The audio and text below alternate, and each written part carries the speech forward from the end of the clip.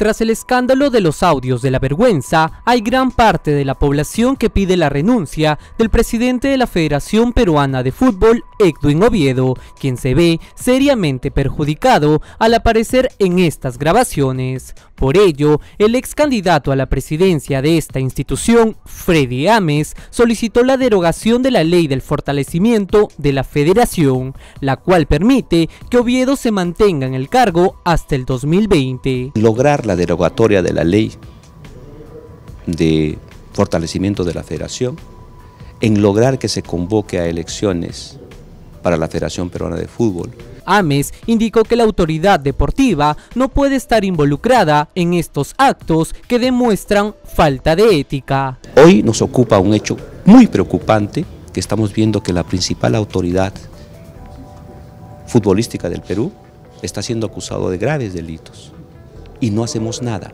Nos parece normal. No es normal.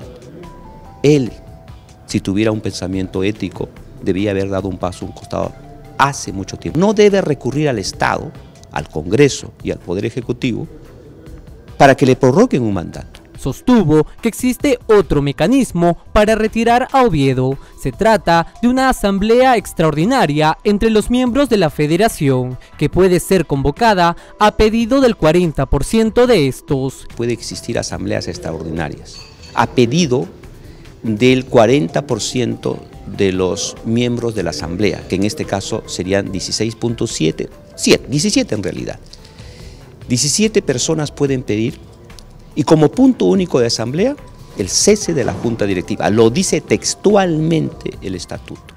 Luego viene que el 80% vote a favor. El también presidente del club deportivo Copsol señaló que si Edwin Oviedo sigue al mando el próximo año, su equipo se retirará definitivamente del fútbol. Deportivo Copsol ha tomado la decisión definitiva. Si el primero de enero del año 2019 se mantiene esta junta directiva, nos retiramos del fútbol para siempre. O sea, ya no continuamos, el grupo Copsol que estaba apoyando al deporte, especialmente al fútbol, dejaría de hacerlo.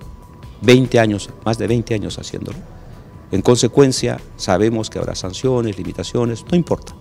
Pero más allá de eso está el concepto ético que a nosotros nos lleva a tomar esta decisión. Añadió que de retirarse Oviedo de la presidencia, el contrato recién firmado de Ricardo Gareca como director técnico de la selección peruana no se vería afectado. Los contratos se respetan y hay que respetarlos.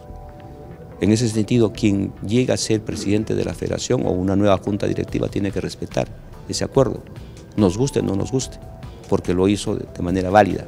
Ahora eso no significa no poder revisar un contrato, pero hay que respetarlo.